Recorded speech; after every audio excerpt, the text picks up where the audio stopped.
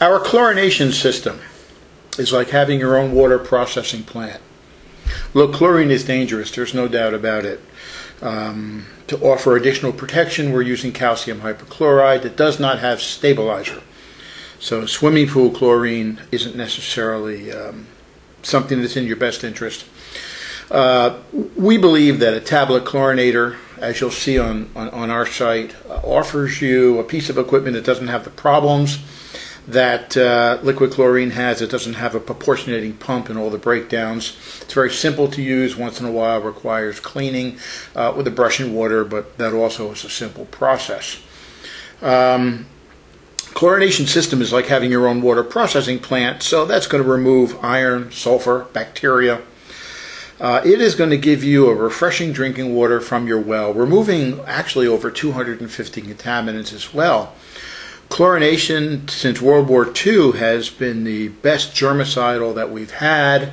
I think um, old technology, uh, as opposed to ozonation and some of the other newer things on the market, is the way to go.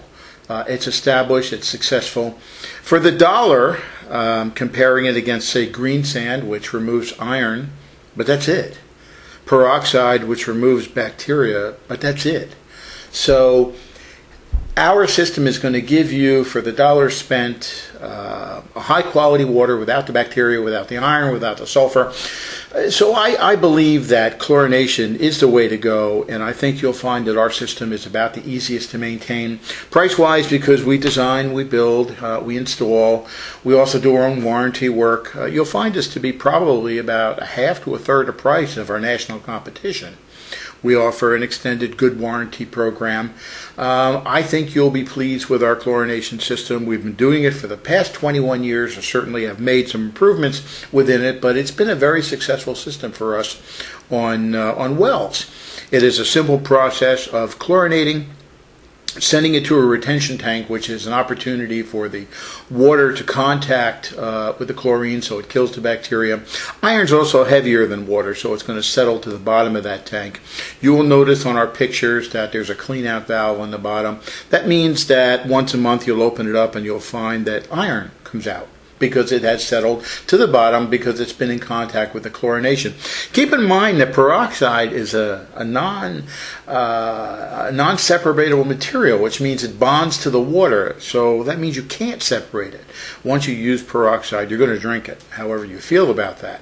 But, uh, so what we're doing is taking the chlorinator to a retention tank, and of course, the final tank, which is to me the most important, whether it's city water or whether it's well, is an oxidation tank. We have probably close to 100 pounds of carbon in that system, along with KDF and some other media beds, but it's going to oxidize out the tool, the chlorine that we originally put in there to purify the water. So you've got your own water processing plant. A softener, softener is optional. Uh, with the three-piece system, you're going to remove iron, sulfur, bacteria. That's a primary concern for most. However, you can add a softener to it. We have a softener that is specifically designed for the well. It has a C100 resin in it, which is a smaller resin designed to pick up calcium and iron off of a well. Um, we make a package deal on that, so you can inquire directly with us or a salesperson. Um, our phone number uh, and email address, of course, are on the site. So, like I say, it's a three piece system. You'll find that to be very successful. Uh, the softener's icing on the cake. If you, so to speak, want to add a softener to it, then it's going to take the three piece system and additionally remove calcium on top of that.